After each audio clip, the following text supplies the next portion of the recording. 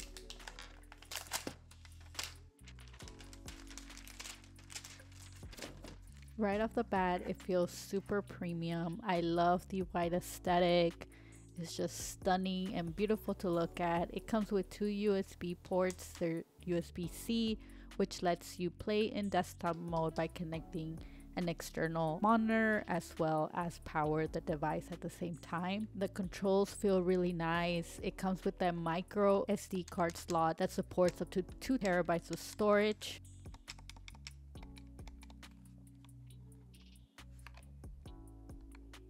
The Joy-Cons feel really nice, especially with the RGB lights once you turn it on.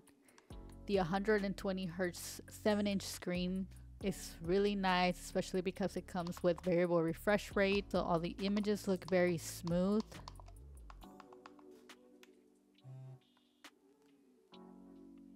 Now this one does come in 512 gigabytes, which was definitely not gonna cut it for me. I plan on upgrading to this 4 terabyte M.2 drive that I had laying around. Yes, I had an M.2 drive, 4 terabytes laying around for the last two years. I had lost it at some point when I moved to Dallas, but thankfully I found it a couple weeks before purchasing this device. I'll leave the link to ROG's full guide on doing this upgrade down in the description box below, but I'm also showing you here on screen how easy it is to do. I did have the supervision of my fiance who is a technician, so he has experienced a lot of opening consoles and repairing them.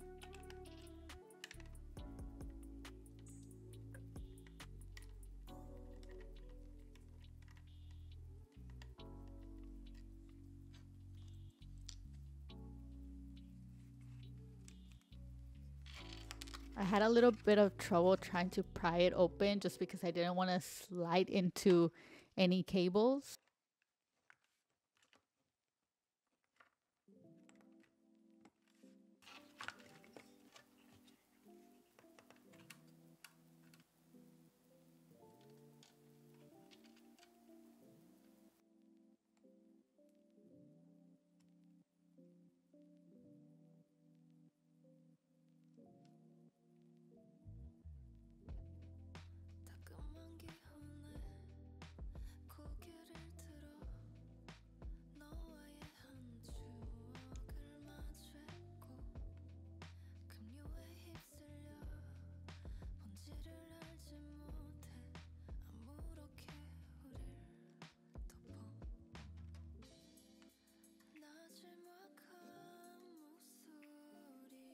Now, ROG's guide does not call for removing the battery, but I had trouble pulling out the M.2 drive, so I went ahead and just removed those extra screws and removed the battery.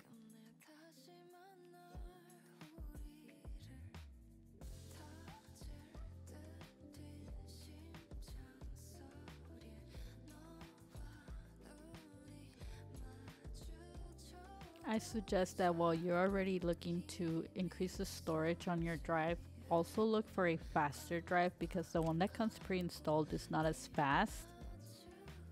And since it's an NVMe drive, you can increase the storage and also increase the speed. You also don't need to worry about it being difficult to reinstall the operating system because ASUS makes it super easy with the cloud recovery feature that they have installed on these consoles. So with just a few clicks and a quick download, I was able to reinstall the operating system with no issues at all.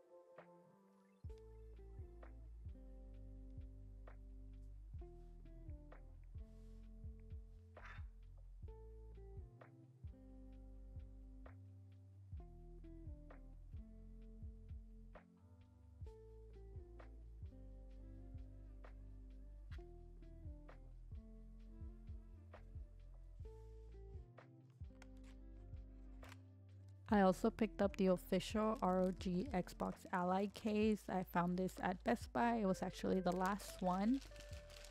And I was pleasantly surprised by it. It was a little bit pricey, but I like the texture outside, which is waterproof. Zippers are also waterproof.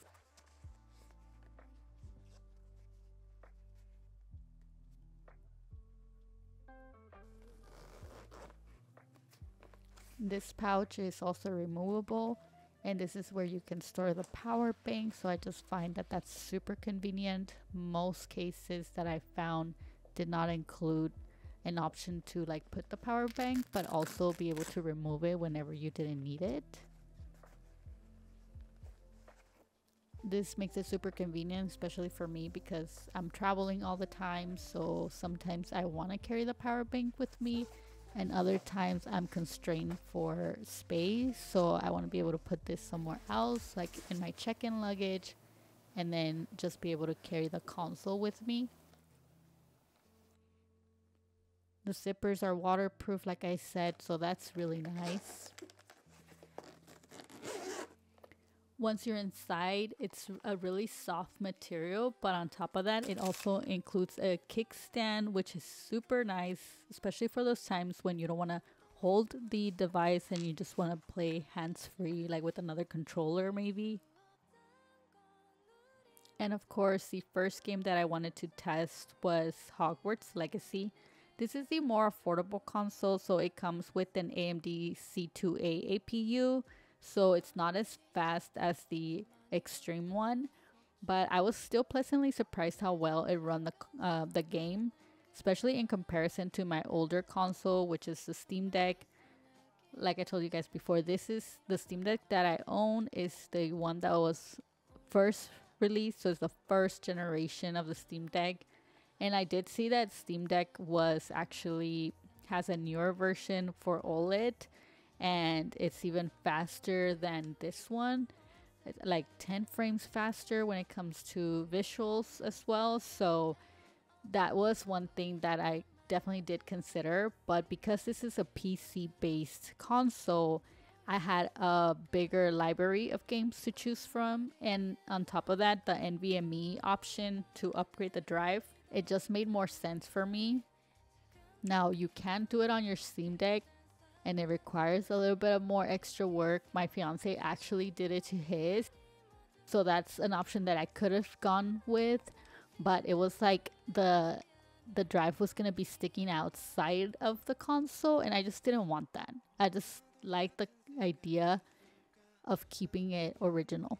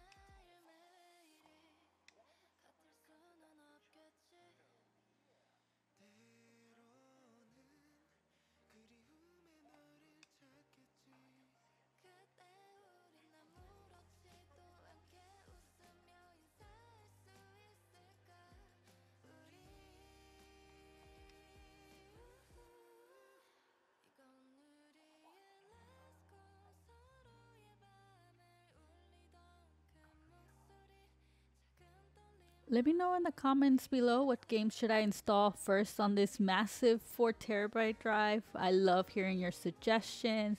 And I thank you so much for watching today's video. If you liked it, please consider giving it a thumbs up, commenting, liking, subscribing to my channel if you haven't done so already. It really helps me out a lot. And thank you so much again. I'll catch you on the next video. Bye!